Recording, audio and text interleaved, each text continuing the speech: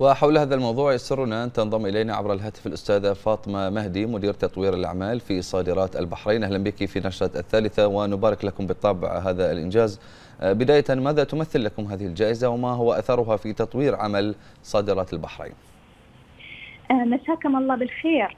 أشكركم على الاستضافة من تلفزيون البحرين.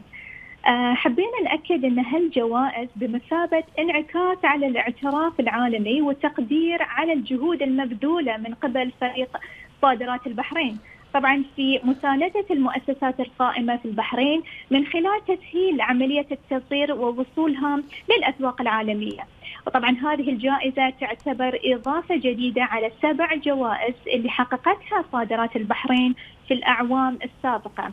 واللي من خلالها شفنا النمو والتنوع في الأعمال محققين قيمة صادرات بلغت أكثر من 500 مليون دولار أمريكي منذ التأسيس حتى الآن لأكثر من 69 من الخدمات والمنتجات البحرينية من خلال 12 قطاع مختلف نعم ما هي خطط صادرات البحرين للاستمرار بالتميز مستقبلا؟